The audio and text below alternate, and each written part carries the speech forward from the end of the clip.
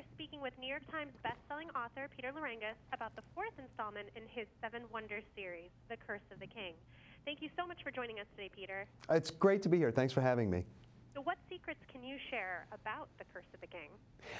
Well, if I, you know, I got to be very careful about this because my publisher is standing right outside the door with a cane and can pull me out if I get too much into it. But what I can tell you is at the end of book three, right, we have this unbelievably impossible problem. We've got four characters, Jack, Aly, Cass, and Marco, each of whom have this condition they've inherited from a prince who escaped the sinking of the continent of Atlantis.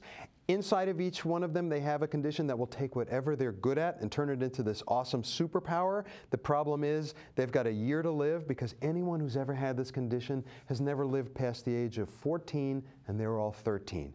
And they found a cure on this island where an institute has been set up to study them. And what the cure is, is they've got to find seven relics or loculi that have been hidden in the seven wonders of the ancient world. And if they find these relics and bring them back to this island, they'll be cured, they'll live long lives, and they'll also save the world. So in the first three books, They've been through all kinds of adventures. They've seen all kinds of crazy mythological creatures. They've been to Greece. They've been to they've been in a time rift and seen the ancient civilization of Babylon and they've had a defection of one of the four friends and by the end of book 3, one of the seven loculi has been destroyed. So all bets are off. And that's the job I had when I started book four, was to figure that one out. So at the beginning of book four, all hope is lost, but because it's an entire book, they found out something that's going to save this adventure, and I can't really tell you what it is. So, um, why, why are young readers so excited to read about what happens next for Jack and his friends? Well, I think part, you know, part of it I think is because we all wish that we could have these superpowers. And at the same time, we're all looking for a connection between ourselves and the wider world. And in this case, the, the way that they can save their lives also involves the fate of the entire earth. And I think when you're a kid, everything is that important, right? I mean, everything is, you know, is, is, is of the greatest importance that you could possibly imagine because that's what your lives are all about. You're so, you're so inside your own minds and inside your own hearts. And I, I don't, I, you know, I can never know exactly what it is about a book that makes it popular for kids. I can just give it my all and hope that it connects somehow. And the, the great, you know, the great pleasure for me is that lo and behold, the series has, has caught hold and uh, I'm, I feel like the luckiest guy in the world. You're definitely doing something right because the books are popular and kids do love them.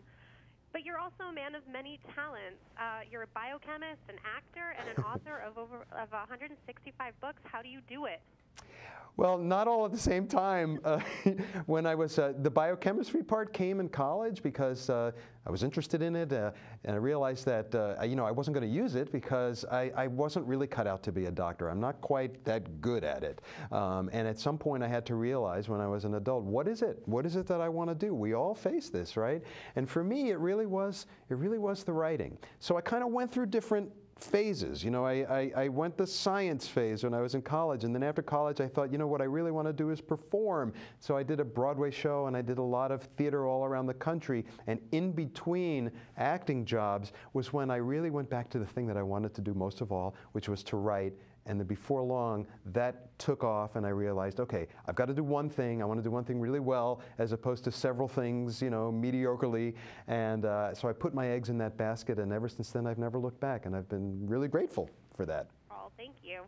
Uh, lastly, where should young readers and parents who are reading those books as well go to learn a little bit more about the series? Well, we have a website that we've set up just for the series. It's called sevenwondersbooks.com. Uh, and you know, most people don't know what the seven wonders of the ancient world are. People kind of guess all over the place. So you have an interactive map where we have all of the seven wonders. You can learn all about them. I've actually cut one video for each of the seven wonders where I talk about them and what they mean to me. Uh, and um, you can learn about the books. You can learn about the characters. Also, at my own personal website, peterlerangis.com, uh, you can not only learn about the books, but also kids can communicate with me through my guest book. I answer every single question that any reader wants to ask. Wonderful. Thank you again so much and have a wonderful day. Thanks. You too.